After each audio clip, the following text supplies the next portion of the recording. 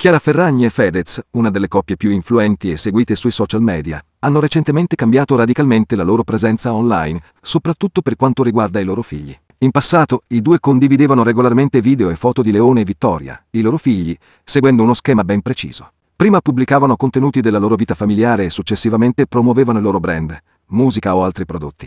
Questo approccio aumentava l'interesse del pubblico e di conseguenza le vendite e i guadagni. Tuttavia, negli ultimi tempi, questa pratica è stata abbandonata. La decisione di non mostrare più i figli sui social è strettamente legata a un momento molto delicato nella loro vita personale. Stanno affrontando un divorzio. La questione della privacy è diventata centrale e insieme ai loro avvocati, Chiara e Fedez hanno deciso di proteggere l'intimità dei loro bambini. La scelta di non pubblicare più contenuti riguardanti Leone e Vittoria ha sollevato molte domande tra i fan. In passato, Fedez aveva dichiarato durante un'intervista a Striscia la notizia «Non mi sembra di pubblicare eccessivamente i miei figli sui social». Questa affermazione ora risuona con una nuova consapevolezza della necessità di proteggere la vita privata dei bambini in un mondo sempre più digitalizzato e invasivo. Chiara e Fedez hanno certamente beneficiato dell'attenzione mediatica sulla loro famiglia per aumentare il loro patrimonio, ma la loro decisione attuale dimostra un cambiamento di priorità. Hanno scelto di mettere al primo posto il benessere e la privacy dei loro figli, anche se questo significa rinunciare a una parte significativa della loro strategia di marketing.